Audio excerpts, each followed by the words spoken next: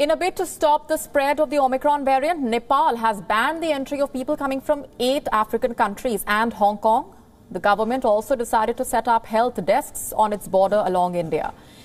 At a meeting, the Council of Ministers decided to ban entry from eight southern African countries. These are South Africa, Botswana, Zimbabwe, Namibia, Lesotho, Eswatini, Mozambique, Malawi. People arriving from Hong Kong are also on the banned entry list. According to a spokesperson of Nepal's Home Ministry, the agencies have been directed to not issue visa on arrival for people arriving from these countries.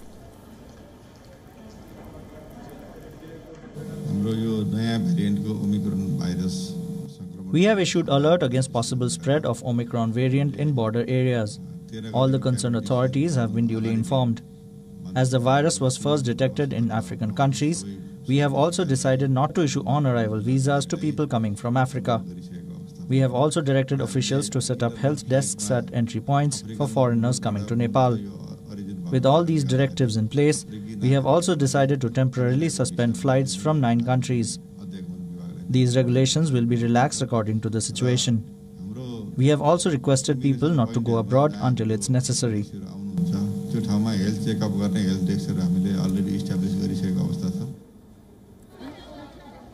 Nepal's neighbor India reported its first two cases of the Omicron variant yesterday. To check the spread of this variant, the Himalayan country will be setting up health desks along its border with India. The government also requested people not to go abroad unless it is necessary. Earlier in May, amid a surge in cases in India, Nepal had closed all 22 entry points along the border.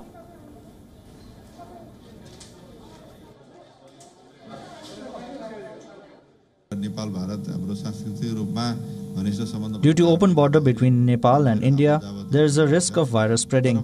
So we have established health desks at different border points.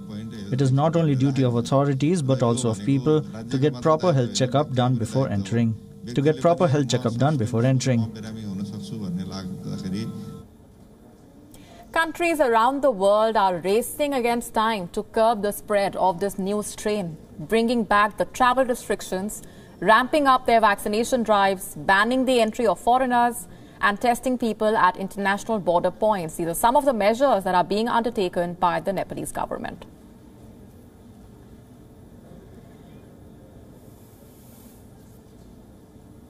For more on this, our correspondent Saloni Murarka sent us this report. Take a look.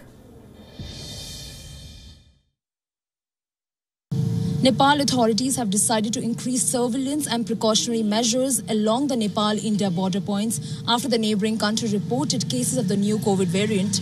Along with this, the Home Ministry has also decided to put a ban on the entry of the travelers coming from nine countries, including Hong Kong, effective from today. The local authorities have said that the provinces that shares border with India are at a higher risk and have also decided to set up help desks uh, at the border points. Saloni Murarka for WION, World is One in Kathmandu, Nepal. WION now available in your country. Download the app now. Get all the news on the move.